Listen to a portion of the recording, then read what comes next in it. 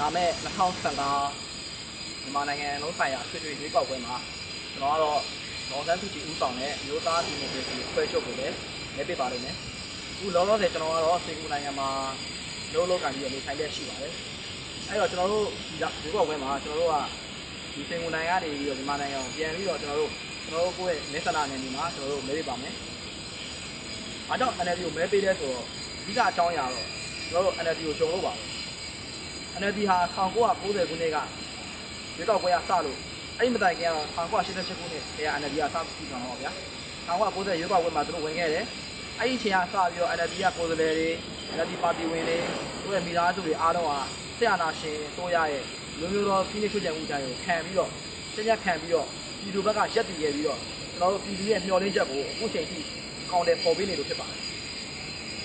ဒီကတော့ဗျာကျွန်တော်နိုင်ငံမှာလိုအပ်တာကတော့ နိုင်ငံရေးအရဖြေရှာမှုနိုင်ငံရေးအဖြေရှာမှုဆိုတာအဓိကတော့ကျွန်တော်နိုင်ငံမှာကျွန်တော်ဒန်းလူညီရမှုမရှိတာအဲ့အဓိကပြဿနာပဲဒန်းလူညီရမှုမရှိတာကျွန်တော်တို့နိုင်ငံမှာတရားဥပဒေသုံးမှုမရှိဘူးကျွန်တော်တိုင်းရင်းသားတွေနဲ့ကျွန်တော်တို့ဒီတိုင်းရင်းသားတွေအချင်းချင်းနဲ့ကျွန်တော်တို့အစိုးရမှာဓာတ်မှာကျွန်တော်တို့ကနားလည်မှုမရှိဘူးလူကြီးမှုမရှိဘူးအဲ့ဟာတွေကျွန်တော်တို့မတည်ဆောက်နိုင်ဘူးအဲ့တော့အဲ့ဒီအခြေခံကြတဲ့ကျွန်တော်ပြဿနာတွေကိုအဖြေရှင်းနိုင်လို့ကျွန်တော်နိုင်ငံရဲ့တိုးတက်မှုလမ်းကြောင်းဟာဘယ်တော့မှဖြစ်လာမှာမဟုတ်ဘူး အဲ့တော့ကျွန်တော်တို့ကအဓိကပြောချင်တာကကျွန်တော်တို့နိုင်ငံကိုအုပ်ချုပ်တဲ့ကျွန်တော်နိုင်ငံအုပ်ချုပ်မဲ့ဒီကြောက်ဟာကျွန်တော်တို့နိုင်ငံသားရဲ့ယုံကြည်မှုရှိဖို့လိုတယ်သူ့ရဲ့သစ္စာရှိမှုသူ့ရဲ့ဂျိုးသားမှုသူ့ရဲ့ဉာဏ်ပညာသူ့ရဲ့အမျှော်မြင်အဲ့ဒါတွေအရန်ရေးကြည့်တယ်အဲ့ဒီတော့ကျွန်တော်တို့ကနိုင်ငံရေးသမားပြောက်ဆိုတာတည်ဆောက်မှုရှိရတယ်တည်ဆောက်မှုမရှိတဲ့နိုင်ငံရေးသမားပြောက်ကိုပြောဆိုတာမဟုတ်ဘူးအဲ့တော့ကျွန်တော်တို့က NLD ပါတီကလွန်ခဲ့တဲ့နှစ်20ကျော်ကစပြီးတော့ကျွန်တော်တို့ပါတီကတည်ဆောက်ပြခဲ့တယ်သူတို့ရိုးရိုးချွန်ချွန်အာဏာရှင်ကပြည်နယ်ကိုခံခဲ့တယ် အခုချိန်ကြီးလည်းပြည်သူဘက်ကရဲတပ်သားပြပတ်သားချက်တည်ခဲ့တယ်အဲ့တော့ကျွန်တော်တို့ NLD ပါတီကိုမဲပေးမယ်အခုလောဆယ်နိုင်ငံရေးအခင်းချင်းချင်းပြဿနာတွေကဘာဖြစ်နေလဲဆိုတော့ကျွန်တော်နိုင်ငံမှာ2012နောက်ပိုင်းကစပြီးတော့ကျွန်တော်နိုင်ငံမှာဖြစ်နေတဲ့ဘာသာရေးပြည်ပခရေးခင်းတွေကျွန်တော်တို့နိုင်ငံမှာဖြစ်နေတဲ့လေယာနေသိပြဿနာတွေလုံသမားခြေကလာလာပြောင်းပြဿနာတွေဒါတွေအားလုံးကိုကျွန်တော်အခုလက်ရှိအစိုးရဘာမှဖြေရှင်းပေးနိုင်ခြင်းမရှိဘူး အခုအရေးပါလို့ဖြစ်တယ်ကျွန်တော်နိုင်ငံရဲ့ဖွဲ့စည်းပုံခြေကဥပဒေပြင်ဆင်ရေးရအခုချိန်ထိလမ်းသာပြောင်းနေတယ်ဖြစ်တယ်အဲ့တော့ကျွန်တော်တို့အဓိကကျွန်တော်နားလဲရမှာကျွန်တော်နိုင်ငံကိုဥဆောင်တဲ့လူဟာမျှော်မြင်ရှိဖို့လိုတယ်ကျွန်တော်ဒီပြည်ရေးပြဿနာတွေကိုမဖြေရှင်းနိုင်မဲ့ကျွန်တော်နိုင်ငံရဲ့တိုးတက်ရေးလမ်းကြောင်းဆိုတာဘယ်တော့မှဖြစ်လာမှာမဟုတ်ဘူး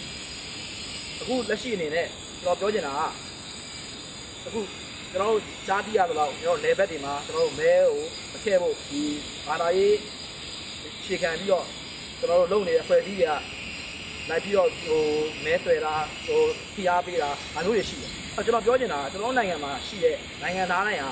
ရန်သူများမှုရှိရမယ်လွတ်လပ်စွာပိုးကွယ်ဝင်ရှိရမယ်တရားဥပဒေတော့ညီညညီညွတ်မျှတတဲ့တရားဥပဒေအောက်မှာကျွန်တော်တို့ကျောသားရတာမခွဲခြားပဲနဲ့သူတို့ကဒန်းလူညီမှုရှိရမယ်အဲ့ဒါအရေးကြီးတယ်အဲ့တော့တရားဥပဒေသုံးမှုမရှိပဲနဲ့ကျွန်တော်နိုင်ငံကဘယ်တော့မှအေးချမ်းမှာမဟုတ်ဘူးအဲကျွန်တော်နိုင်ငံကလည်းလူမျိုးကြီးဝါဒတစ်ခုနဲ့လည်းတွားလို့မရဘူးကျွန်တော်တို့တိုင်းရင်းသားတွေအားလုံးကျွန်တော်တို့ပြည်အောင်စုမှာစစ်စစ်ခင်ခင်ဘာသာလူမျိုးမခွဲခြားပဲနဲ့အေးအေးချမ်းချမ်းသူတို့ကနေထိုင်နိုင်ပြီးတော့ကျွန်တော်တို့ တာယာတဲ့ဝိကျင်တဲ့တစ်ခုကိုတည်ဆောက်နိုင်ဖို့လိုတယ်နောက်တစ်ခုကကျွန်တော်တို့နိုင်ငံမှာရှိတဲ့အစိုးရကျွန်တော်နိုင်ငံသားနိုင်ငံမှာရှိတဲ့တရားစာတလူစားရင်းမြစ်အဲ့ဒါတွေအားလုံးကိုတေးချတုံးချနိုင်ဖို့လိုတယ်ဥပမာကျွန်တော်နိုင်ငံမှာဆိုရင်တရားသာသားတွေရပြုံးပြီးတယ်ဆရာနာရှင်လက်ထက်20ကျော်မှာကျွန်တော်နိုင်ငံစစ်တော်တွေကကြောင်တော့ဖြစ်သွားတယ်တရားသာသားတွေကပြည်သူတွေမရောက်ဘူးသုံးရှုံသွားတယ်ကျွန်တော်တို့ရွယ်ကောင်းတွေကကျွန်တော်တို့တိုက်ပွဲရင်မှာဒီကြေတန်ရတယ်နောက်နိုင်ငံခြားတော့ဆက်ပြီးတော့အလုပ်လုပ်ကြရတယ်ကိုယ်တိုင်းပြည်ဆိုတာဘာမှဖြစ်မလာဘူးအော်တိုင်းပြည်တွေမှာလည်း ကျွန်တော်တို့နယ်ဘက်တွေမှာဆိုရင်ဘူးကြီးဆိုတာပြဿနာမြို့ပေါ်မှာဆိုရင်အခုချိန်တို့ကျွန်တော်တို့မန္တလေးကျန်ကုန်မြို့ကြီးတွေမှာနေကင်းကြောင်တော့လူရမှုတွေအများကြီးဖြစ်နေတယ်အဲ့တော့ဒါပြန်ကြည့်လို့ရှိရင်ဘာဖြစ်လဲဆိုတော့တိုင်းပြည်မတိုးတက်မှုဆင်းရဲမှုကျွန်တော်တို့ပညာရေးနှိမ့်ချမှုအဲ့ဒါရောက်ဖြစ်နေတယ်အဲ့တော့ကျွန်တော်တို့ကလက်ရှိအချိန်တွေမှာဘာလို့လုပ်ရမလဲဆိုတော့ကျွန်တော်တို့ပြည်သူကယုံကြည်ရဲ့ပါတီတစ်ခုဖွဲ့စည်းတစ်ခုကိုကျွန်တော်တို့ကကိုယ်တိုင်ကိုယ်ကြရွေးချယ်နိုင်ဖို့လိုတယ်ဒါပေမဲ့ကျွန်တော်နိုင်ငံရွေးကောက်ပွဲစနစ်အရကျွန်တော်တို့နိုင်ငံဟာသမရကိုတိုင်းရွေးကောက်လို့မရဘူးသမရကအစိုးရဖွဲ့ဖွဲ့စည်းတယ် အဲ့တော့ကျွန်တော်တို့ကအခုလောလောဆယ်ရွေးကောက်ပွဲဆိုတာ85ရာခိုင်နှုန်းတော့တွတ်တော်ကကိုယ်စားလှယ်တွေပဲကျွန်တော်တို့ကရွေးကောက်နိုင်တယ်အဲ့တော့ကျွန်တော်25ရာခိုင်နှုန်းကတက်ကလာတာဖြစ်တယ်အဲ့တော့ကျွန်တော်တို့သမရရွေးချယ်တဲ့နေရာမှာမျိုးသားတွတ်တော်ကတယောက်ပြည်သူတွတ်တော်ကတယောက်စစ်တပ်ကရွေးချယ်တဲ့ပုဂ္ဂိုလ်ကတယောက်အဲ့သမရဒုသမရ3ယောက်မှာမှကျွန်တော်တို့ကအများများလို့ရတဲ့သမရကဒုသမရကသမရဖြစ်မယ်ထောက်ခံမှုများလို့ရတဲ့ပြည်တော်တို့တော်ထောက်ခံမှုများလို့ရတဲ့လူကသမရဖြစ်မယ်အဲ့ဒီခါကျမှကျွန်တော်တို့ကအဲ့သမရကနေပြီးတော့ဖွဲ့စည်းတဲ့ စိုးရမှာပြည်သူကိုကျွန်တော်တို့အုပ်ချုပ်နိုင်နောက်တစ်ခုကကျွန်တော်နိုင်ငံမှာအုပ်ချုပ်ရေးဥပဒေကြီးတွေတရားစီရင်ရေးဆိုတာကျွန်တော်တို့ကင်းကင်းအချုံအောင်ကင်းကင်းတရားကင်းဘေးကိုကင်းကင်းနဲ့ခုနကခုလွတ်လပ်ပြီးကြားစွာလက်တည်နိုင်ဖို့လိုတယ်အခုဆိုလို့ရှိရင်အုပ်ချုပ်ရေးဘက်ကကျွန်တော်တရားစီရင်ဘက်ကိုဝင်ရောက်ဆက်ဖက်တာရှိတယ်အဲ့တော့တရားအလွတ်တော်နဲ့ကျွန်တော်တို့အုပ်စိုးရနဲ့ဟာ check and balance မလုပ်နိုင်တဲ့ပြဿနာတွေရှိတယ်အဲ့တော့ကျွန်တော်တို့ကအဓိကသိရမှာကျွန်တော်တို့ပြည်သူဘက်ကရက်တည်တဲ့ပြည်သူဘက်ကလိုက်တဲ့ပါတီဖွဲ့စည်းရမဲအများကြီးဆုံးရဖို့လိုတယ်အဲ့ဒါမှကျွန်တော်တို့လိုချင်တဲ့ အစိုးရပြည့်ဖြစ်လာလိမ့်မယ်သမ္မတပြည့်ဖြစ်လာလိမ့်မယ်သမ္မတမှအစိုးရကိုဖွဲ့စည်းမယ်ဒါပေမဲ့အခုလောလောဆယ်59ပါလုံးရကျွန်တော်တို့ဒေါ်နန်းစုကြီးကသမ္မတမဖြစ်နိုင်ဘူး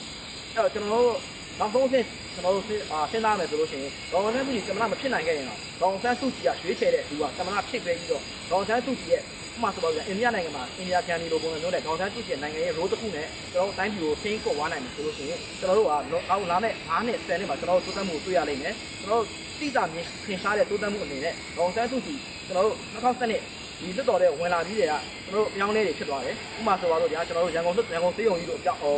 ပို့ပြီး service ကောင်းလာတဲ့အပြောင်းလဲမျိုးနောက်နောက်တစ်ခုကကျွန်တော်တို့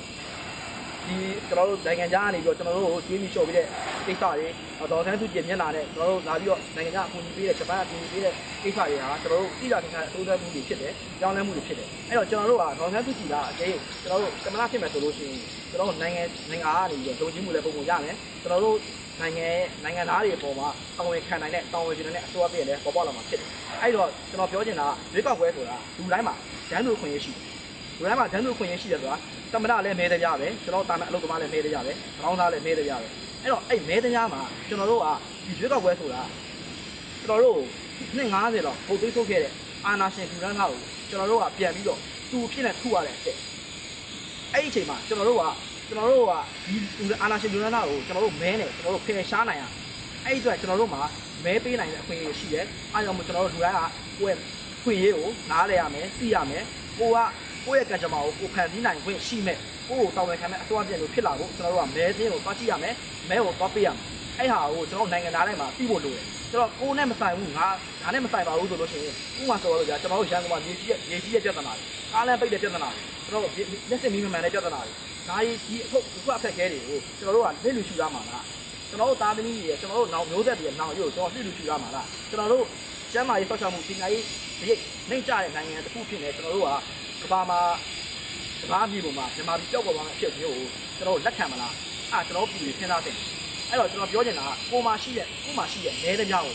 ကောင်းဆုံးအသုံးချပြီးတော့တိုင်းပြည်ရဲ့ဒီမျိုးအတွက်ကျွန်တော်တို့တိုင်းပြည်ရဲ့ဒီမျိုးကြောက်တဲ့ကမ္ဘာမှာကြောက်တဲ့အဆင့်အတန်းတစ်ခုကိုကြောက်ဖို့ကျွန်တော်တို့ NLD ပါတီကိုမဲပေးရပါလို့လို့စိုက်တောင်းလို့ပါ